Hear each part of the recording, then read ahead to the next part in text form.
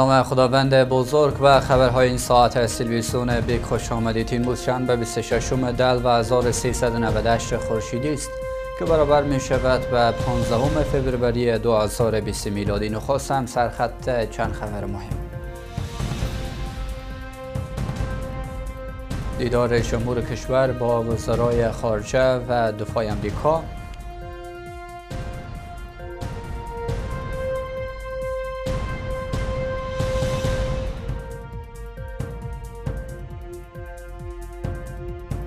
واکنش با طور اخشی به گفته های اخیر جنرال دوستم.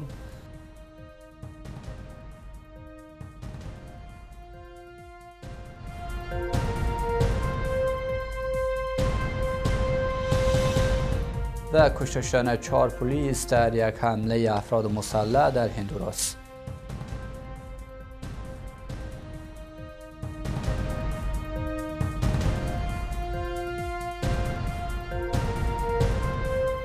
مشروع خبرها با من محمد رسولی محمد اشرفانی رئیس جمهور کشور در حاشیه نشست امنیتی مونیخ در آلمان با مایک پامپیو وزیر امور خارجه و مارک اسپر وزیر دفاع ایالات متحده آمریکا دیدار کرده است.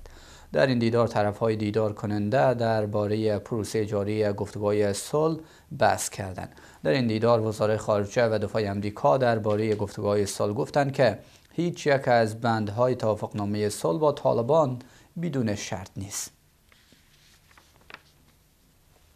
ارگ ریاست جمهوری کشور با پخش خبرنامه می‌گوید. محمد اشرف غنی رئیس جمهور اسلامی افغانستان شام روز گذشته در حاشیه نشست امنیتی مونیخ در آلمان با مایک پامپیو وزیر امور خارجه مارک اسپر وزیر دفاع ایالات متحده آمریکا در حالی که دکتر زلمه خلیلزاد نماینده خاص وزارت امور خارجه آمریکا برای صلح افغانستان و جنرال اسکات میلر قماندان عمومی نیروهای حمایت قاطی حضور داشتند دیدار کرد. در این دیدار امرالله صالح اسدالله خالد و هارون چخانسوری نیز حضور داشتند. وزرای امور خارجه و دفاع آمریکا تصریح کردند که توافق با طالبان که احتمالا در هفته های آینده نهایی گردد محتویات مشروط دارد. آنان گفتند که هیچ یک از بندهای توافقنامه بدون شرط نیست و طالبان ممکن است دست به تبلیغات اغوا کننده بزنند.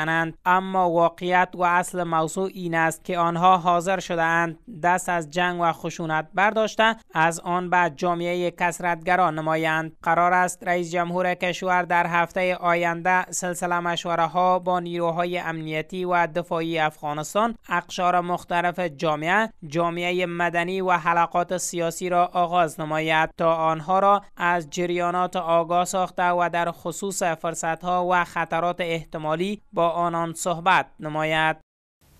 انجینر باتوری اخشی پسر ارشد انجینر احمدی شی به حرفهای اخیر جنرال عبدالرشید دوستم نسبت به خانوادهش واکنش نشان داده است. او در مصاحبه‌ای که با رسانه ها داشت گفته است که اتهام های بسته شده از سوی جنرال دوستم علیه خانوادهش حقیقت ندارد. و همچنان گروه طالبان را دشمن مشترک همه عنوان کرده است.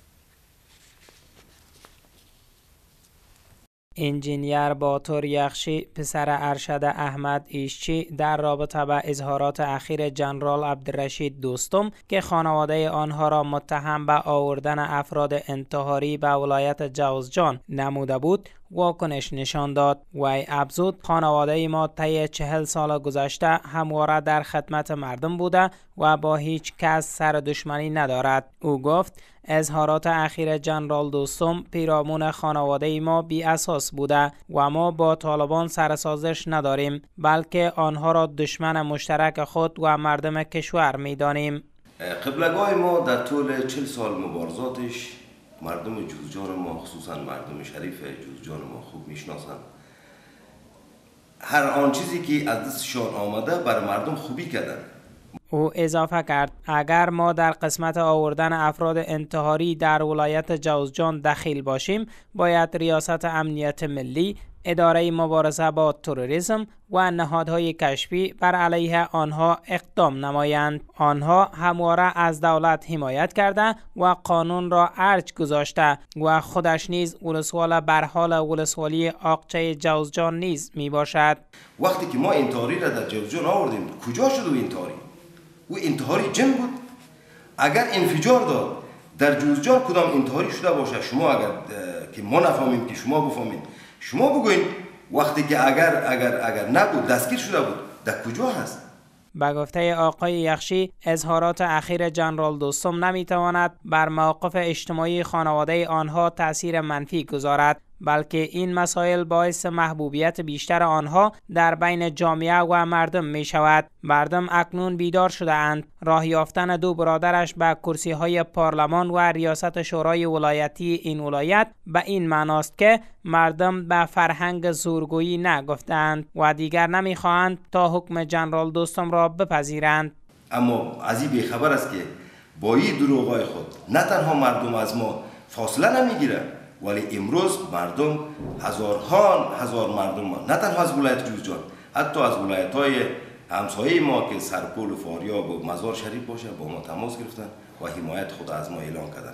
آقای یخشی در مورد فعالیت شبکه تلویزیون بیک در شهر شبرغان گفت رسانه آنها یک رسانه اجتماعی است که فقط هدفش را بلند کردن صدای مردم تشکیل می دهد تا اکنون از طریق این رسانه به آدرس هیچ فردی سخن گفته نشده بلکه واقعیت های عینی جامعه انعکاس داده شده و آنها نمی‌خواهند اصل آزادی بیان را با نشرات بیهوده صدمه بزنند. تلویزیون بیگ یک تلویزیون مردمی است. تلویزیون بیگ تلویزیون سیاسی نیست. ما تلویزیون بیگ آوردیم. حقایق اینمی جامعه را که تا امروز نشده. همه حقایقی که در جوزجان بوده فراموش شده پنهان شده. از دولت مرکزی که در رسانه ها پخش نشده نشده. امروز ما در جوزجان عدالت تامین می‌کنیم.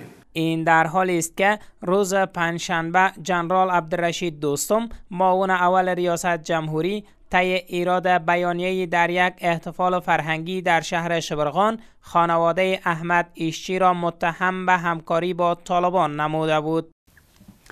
از سی سالگی خروج قشون سرخ شوروی از افغانستان تحلیل به عمل آمد. با خروج قشون سرخ شوروی از افغانستان مردم فکر می‌کردند که جنگ پایان مییابد. اما برعکس جنگ های داخلی در افغانستان بیشتر از پیش شد.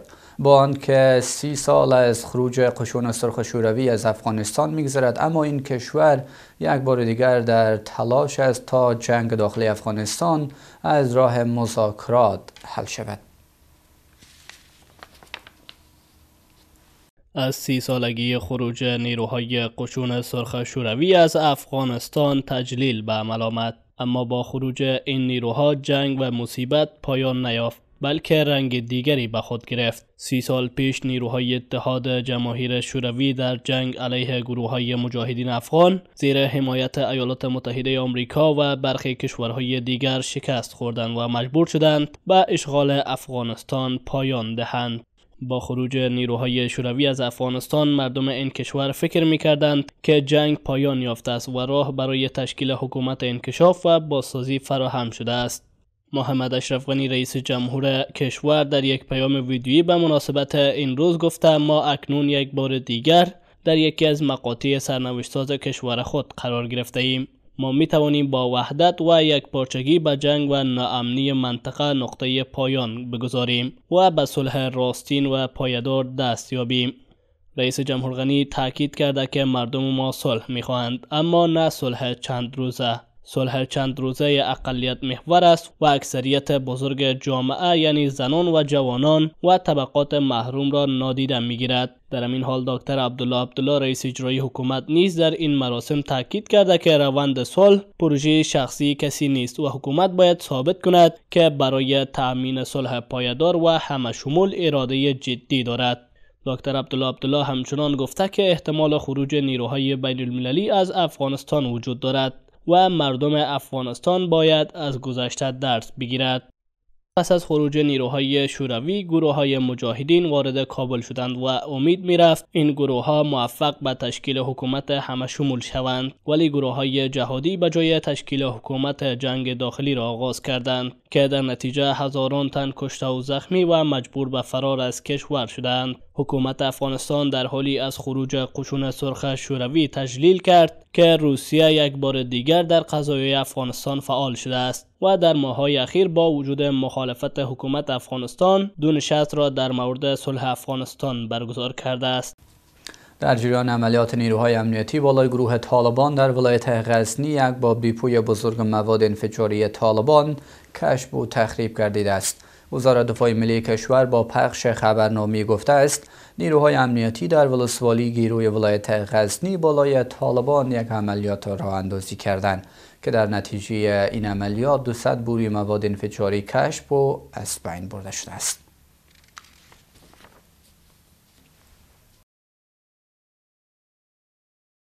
نیروهای امنیتی با اندازی عملیات بالای گروه طالبان در ولایت غزنی یک دیپوی بزرگ مواد انفجاری را کشف و خونسا نمودند. وزارت دفاع ملی کشور با پخش خبرنامه می‌گوید نیروهای امنیتی در بخشهای ولسوالی گیروی ولایت غزنی بالای گروه طالبان یک عملیات را اندازی کردند. این خبرنامه می افزاید که در اثر این عملیات 200 بوری مواد انفجاری، 4 اراده موترسیکل و یک اراده موتر کشف و از بین برده شده است. در این خبرنامه همچنان آمده است که در این عملیات چندین تن از ماینسازان افراد طالبان از سوی نیروهای امنیتی دستگیر گردیدند. در رابطه با کشف و از بین برده شدن مواد انفجاری و دستگیری افرادشان از سوی نیروهای امنیتی گروه طالبان تا اکنون چیزی به رسانه ها نگفتند.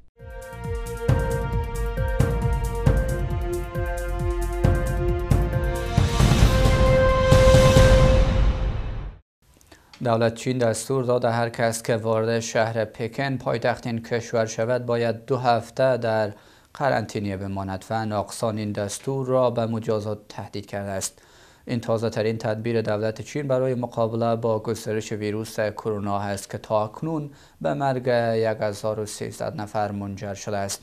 کانون سرایت این ویروس شهر ووهان چین هست که مرکز ولایت هوبی در مجاورت پکن است.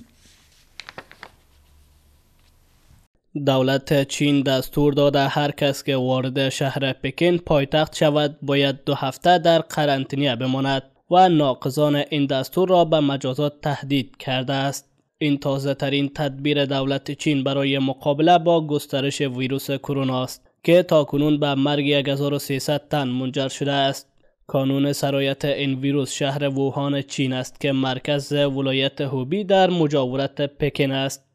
این دستور در پی پایان یافتن تعطیلات سال نو در چین صادر شده و متوجه کسانی است که در تعطیلات از پکن خارج شده بودند. همزمان اولین مورد ابتلا به این ویروس در آفریقا نیز گزارش شده است. در حالی که تیمی از کارشناسان و محققان سازمان بهداشت همراه با برخی متخصصان آمریکایی عازم چین شدند تا تحقیق درباره نحوه سرایت و شدت گسترش ویروس کرونا را آغاز کنند. تعداد مبتلایان به این نوع ویروس کرونا کماکان در چین رو به افزایش است.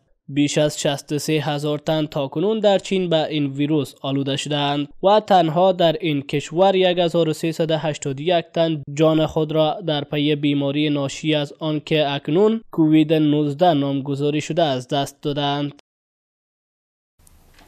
در هندوراس 20 طبقار مسلح گروه MS-13 با ورود به کاخ دادگستری چهار پلیس را کشتند و در روز روشن رئیسشان را با خود بردند. MS-13 یکی از مخوفترین سازمان های تبهکاری در امریکای لاتین هست. مهاجرت هزاران پناهجوی کشورهای امریکای مرکزی نتیجه جنایات این گروه در هندوراس، السالوادور و گواتمالا است. در هندوراس 20 تبهکار مسلح گروه MS-13 با ورود به کاخ دادگستری چهار پلیس را کشتند و در روز روشن رئیسشان را با خود بردند. MS-13 یکی از مخوفترین سازمانهای تبهکار در آمریکای لاتین است. مهاجرت هزاران پناهجوی کشورهای آمریکای مرکزی نتیجه جنایات این گروه در هندوراس، السلوادور و گواتمالا است. در پی این حمله دست کم چهار مامور پلیس کشته و سه نفر دیگر زخمی شدند. خوان اورلاندو هرناندز رئیس جمهور هندوراس دو میلیون لمپیرای هندوراس پاداش برابر 80 هزار دلار آمریکایی برای هر گونه اطلاعاتی که به محل اختفای الکساندر مندوزا ختم شود تعیین کرده است. پلیس گفته یکی از مهاجمان هم در جریان این درگیری کشته شده است. لوئیس سوازو معاون وزیر امنیت هندوراس گفته ما این مرد را دوباره دستگیر خواهیم کرد. به همراه همه آنهایی که به فرار او کمک کردند. رسانه های محلی گزارش کردند که مردان مسلح کمی دورتر موترها و سلاحهایشان را رها کرده و از طریق دیگری فرار می کنند آنها جسد یکی از همدستانشان را در یک موتر وین سرخ رها کردند. مندوزا یکی از رهبران اصلی MS13 است که در سال 2015 بازداشت و در سال 2018 به جرم پولشویی و تبهکاری به 20 سال زندان محکوم شده بود. دادگاه جدید که روز پنجشنبه قرار بود برگزار شود مربوط به چندین اتهام قتل منصوب به مندوزا بود. نام مایکل اوناتی از زمانی بر سر زبانها افتاد که معکل او استورمی دانیل آقای ترامپ را به پرداخت حق سکوت بابت رابطه جنسی که سالها پیش با هم داشتن متهم کرد. اکنون مایک اوناتی در دادگاه محکوم شده که قصد اخاذی 25 میلیون دلار از شرکت نایکی تولید کننده بزرگ محصولات ورزشی را داشته است. او شرکت نایکی را تهدید کرده بود که اطلاعات مخربی علیه آن دارد که در صورت انتشار به بدنامی این برند معروف منجر خواهد شد. نام مایکل اوناتی از زمان به سر زبانها افتاد که موکل او استور می دانیل آقای ترامپ را به پرداخت حق السکوت بابت رابطه جنسی که سالها پیش با هم داشتن متهم کرد. اکنون مایکل اوناتی در دادگاهی محکوم شده که قصد اخاذی 25 میلیون دلار از شرکت نایکی تولید کننده بزرگ محصولات ورزشی را داشته است. او شرکت نایکی را تهدید کرده بود که اطلاعات مخربی علیه آن دارد که در صورت انتشار به بدنامی این برند معروف منجر خواهد شد. قاضی پس از سه هفته محاکمه مایکل اوناتی را مجرم شناخت. حکم نهایی او و میزان محکومیتش قرار است ماه جون آینده اعلام شود و ممکن است تا دو سال زندان برایش مقرر شود. به گفته های فدرال در نیویورک مایکل اوناتی در جریان یک جلسه در ماه مارچ سال گذشته شرکت نایکی را تهدید کرده بود که اگر مبلغی بین 15 میلیون تا 25 میلیون دلار به او ندهد اطلاعات را منتشر خواهد کرد که نام نایکی را خدشه‌دار خواهد کرد. او در هنگام این جلسه وکیل گریف فرانکلین بود که یک لیگ بسکتبال جوانان در لس آنجلس را اداره می کرد او در جریان این جلسه تهدید کرده بود که با برگزاری یک کنفرانس خبری نایکی را متهم خواهد کرد که به طور غیر قانونی به بسکتبالیست های جوان در لس آنجلس پولهایی پرداخت کرده است. آقای اوناتی نایکی را تهدید کرده بود که همین کنفرانس خبری کافی است تا نایکی میلیاردها دلار متضرر شود.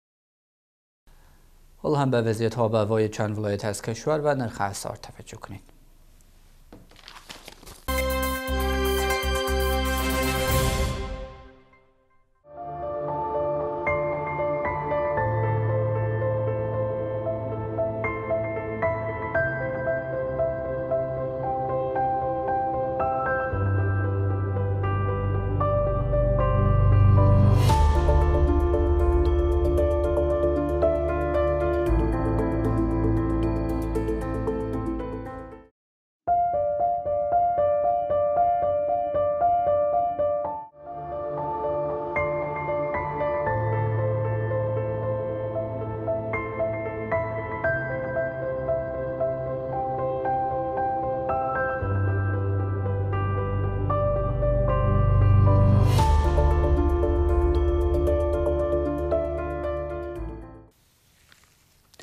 این بود مجموعه خبرهای این ساعت که تقدیمتان گردید تا درود بعد. بدرود.